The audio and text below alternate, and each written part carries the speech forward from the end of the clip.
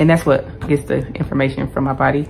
And then transmitter, it sends the information from the sensor to my device to actually show me my information. Lets me know when I'm having highs or when I'm having lows.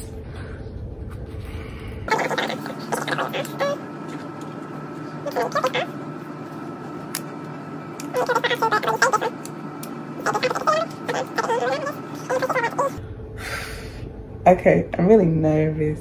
Really nervous, okay. One, two.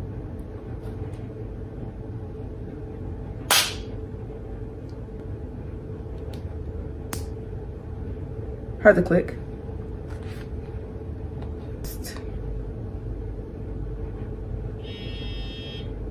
Is paired successfully. It's doing, I can say, it'll take about two hours for it to um get compatible with me.